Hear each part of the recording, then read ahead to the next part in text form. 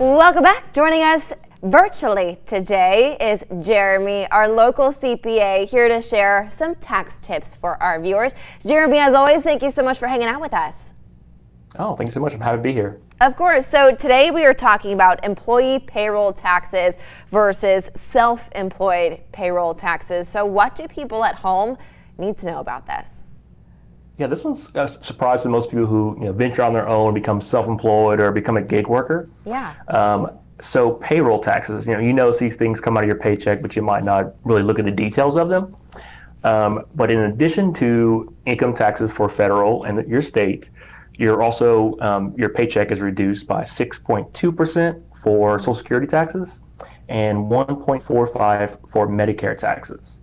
Okay. Um, and that's you paying half of it and your employer paying half of it. So your you know your company that you work for pays us 7.65 percent. You pay it as well.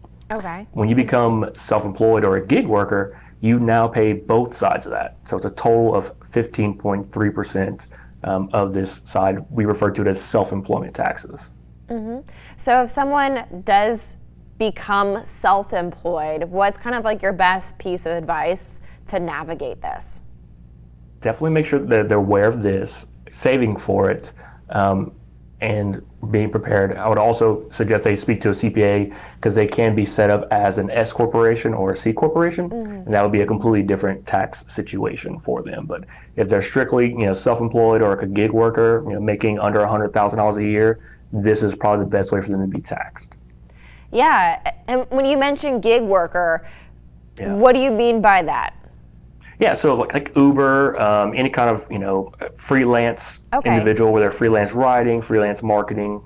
So like this would include like a side hustle too, so to say. Yes. Okay. Absolutely. Because yeah. I feel like that's can get kind of tricky too. People take up Mm. these side hustles, but then don't. They kind of forget like, oh gosh, we still got to do taxes on this. Yeah, like multi-level marketing would be another one that's a side hustle. Yeah. And Jeromy, how can people contact you if they have tax questions?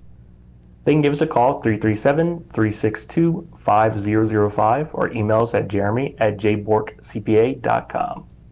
Jeromy, as always, we love having you. Thank you so much for sharing these tax tips with our viewers. They are so helpful.